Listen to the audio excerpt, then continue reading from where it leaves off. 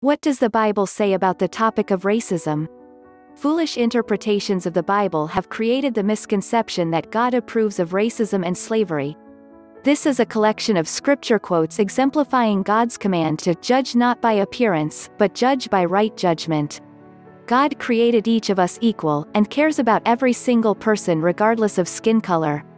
Scripture teaches that God created all human beings in his image. There is no exception to that, and being made in God's image makes each person valuable and precious. There is no hierarchy of human beings demonstrated throughout Scripture. Jesus came so that all may be saved. The Bible makes it clear that racism is wrong and entirely contradictory to God's command to love our neighbors. Now, in Christ, it doesn't matter if you are a Jew or a Greek, a slave or free, male or female. You are all the same in Christ Jesus. Galatians chapter 3 verse 28. Stop judging by the way things look. Be fair and judge by what is really right. John chapter 7 verse 24. Peter began to speak, I really understand now that God does not consider some people to be better than others. He accepts anyone who worships him and does what is right. It is not important what nation they come from. Acts chapter 10 verses 34 to 35. God began by making one man, and from him he made all the different people who live everywhere in the world. Acts chapter 17 verse 26. God judges everyone the same. It doesn't matter who they are. Romans chapter 2 verse 11. I give you a new command, love each other. You must love each other just as I loved you. John chapter 13 verse 34. Yes, the scriptures say, anyone who trusts in him will never be disappointed. It says this because there is no difference between those who are Jews and those who are not. The same Lord is the Lord of all people. And he richly blesses everyone who looks to him for help. Yes, everyone who trusts in the Lord will be saved. Romans chapter 10 verses 12 to 13. But if you are treating one person as more important than another, you are sinning. You are guilty of breaking God's law. James chapter 2 verse 9. But the Lord said to Samuel, Eliab is tall and handsome, but don't judge by things like that. God doesn't look at what people see. People judge by what is on the outside, but the Lord looks at the heart. 1 Samuel chapter 16 verse 7. Be kind and loving to each other. Forgive each other the same as God forgave you through Christ. Ephesians chapter 4 verse 32. So go and make followers of all people in the world. Baptize them in the name of the Father and the Son and the Holy Spirit. Matthew chapter 28 verse 19. In this new life it doesn't matter if you are a Greek or a Jew, circumcised or not.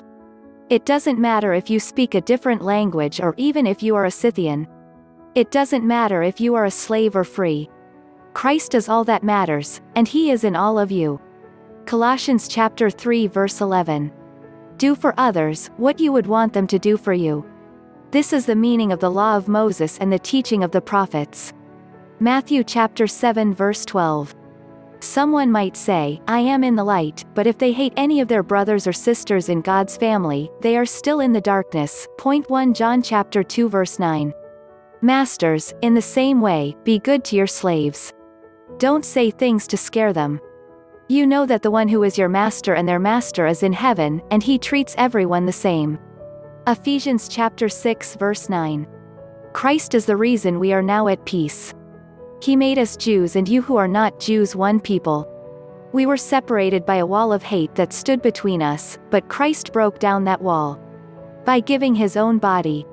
Ephesians chapter 2 verse 14. The same Lord is the Lord of all people. And he richly blesses everyone who looks to him for help. Yes, everyone who trusts in the Lord will be saved. Romans chapter 10 verses 12 to 13. One law rules over all other laws. This royal law is found in the scriptures, love your neighbor the same as you love yourself. If you obey this law, you are doing right. James chapter 2 verse 8. But whoever hates their brother or sister is in darkness. They live in darkness. They don't know where they are going, because the darkness has made them blind. Point 1 John chapter 2 verse 11. You were all baptized into Christ, and so you were all clothed with Christ. This shows that you are all children of God through faith in Christ Jesus. Now, in Christ, it doesn't matter if you are a Jew or a Greek, a slave or free, male or female. You are all the same in Christ Jesus. You belong to Christ, so you are Abraham's descendants. You get all of God's blessings because of the promise that God made to Abraham, Galatians chapter 3 verses 26 to 29. He accepts anyone who worships him and does what is right. It is not important what nation they come from. Acts chapter 10 verse 35. They told you, in the last times there will be people who laugh at God and do only what they want to do, things that are against God. These are the people who divide you. They are not spiritual, because they don't have the Spirit. But you, dear friends, use your most holy faith to build yourselves up even stronger. Pray with the help of the Holy Spirit. Jude chapter 1 verses 18 to 20. God makes people right through their faith in Jesus Christ. He does this for all who believe in Christ. Everyone is the same. Romans chapter 3 verse 22. God knows everyone, even their thoughts, and he accepted these non-Jewish people. He showed this to us by giving them the Holy Spirit the same as he did to us. To God, those people are not different from us. These people will be saved the same way, by the grace of the Lord Jesus. Then the whole group became quiet. Acts chapter 15 verses 8 to 12. Forget about the wrong things people do to you. Don't try to get even. Love your neighbor as yourself. I am the Lord. Leviticus chapter 19 verse 18. A prayer for healing racism. Jesus, you see people as precious and valuable. Lord, I make myself available for you to live that truth through me. If I've wronged anyone, and racism is at the root of that wrong, Father show me what is as I need to do to reconcile Lord, reveal to me, my own prejudices, so that I can seek your repentance. Guide me Lord, to walk in the ways, that lead to true justice. Father God, forgive me for losing sight of the truth that you created all people in your image. By your grace, help me to see hatred, whether initiated or returned, as a tool Satan uses to keep me from experiencing and sharing the richness of your love. Help me to love the way you love and to spread kindness and mercy as Jesus did. In Jesus' name, Amen. God loves every nation, every person, and it is made abundantly clear in Scripture that racism is not compatible with Christianity. As Jesus spoke against racism, so should we. As God loves all peoples, so should we.